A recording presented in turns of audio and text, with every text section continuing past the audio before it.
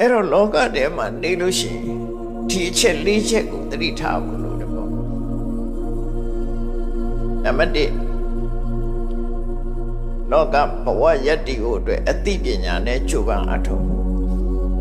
နံပါတ်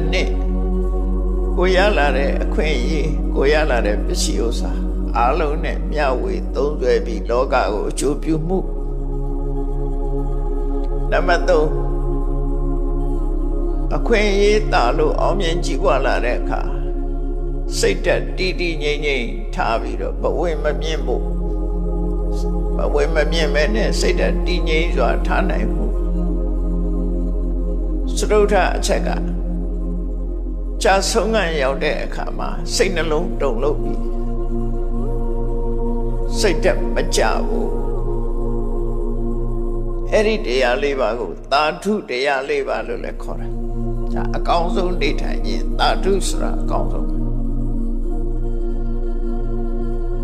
အဲ့တော့ဘဝမှာလောကတွင်မှာနေတဲ့အခါမှာဒီချက်လေးချက်နဲ့ပြည့်ပြည့်စုံစုံဖြစ်အောင်ကိုယ့်ကိုထိန်းချောင်းပြီးတော့နေရမယ်ဆိုတာဒါမှတ်သားတဲ့နဲ့ပေါ့နော်လောကမှာထွက်ခွာခြင်း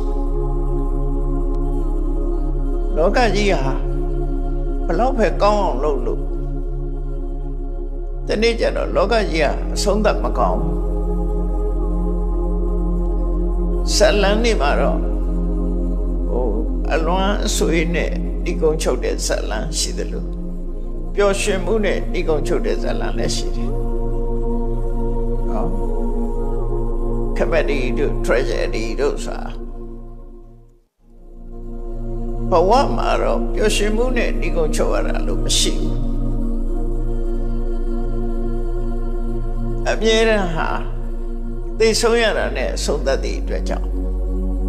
အကောင်းနဲ့ဆုံးသက်တဲ့ဘဝဇလန်းဆိုတာတကယ်မရှိဘူးအဆိုးနဲ့ပဲဆုံးသက်တာပဲတကယ်ဘဝဇက်ခုံမှာအဆိုးဆုံးပဲနောက်ဆုံးမှာ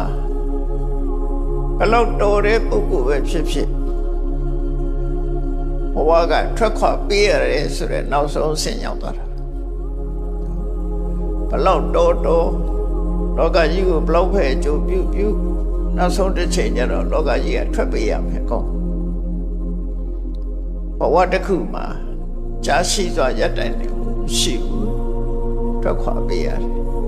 အဲ့ဒီထွက်ခွာပေးရခြင်းဟာသိဆုံးရခြင်းပဲဖြစ်တယ်